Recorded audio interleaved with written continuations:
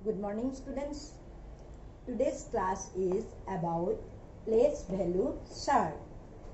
Now we will discuss about Indian system of numeration. Look at the number now 2, 5, 6, 4, 3, 1, 8, 7, 1. How would you read this number? We can read this number by using place value table of Indian system. Look at the table. It shows periods, place value and number. In this separated group, they are called periods. Ones periods, thousand periods, lakhs periods, crore periods. In ones periods, there are three groups ones tens hundred and thousand fruits, thousand ten thousand. And lakhs fruits, lakhs ten lakhs and crore fruits, crores ten crores the table has nine columns. They are labeled from right to left. 1 2 3 4 5 6 7 8 9 nine columns are there.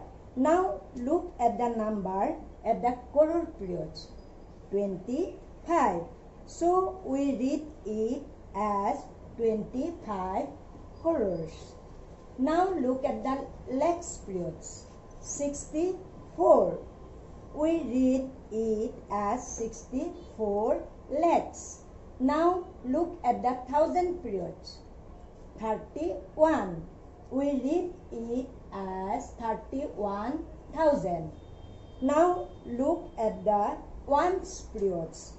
Here 871 and we read it as 871.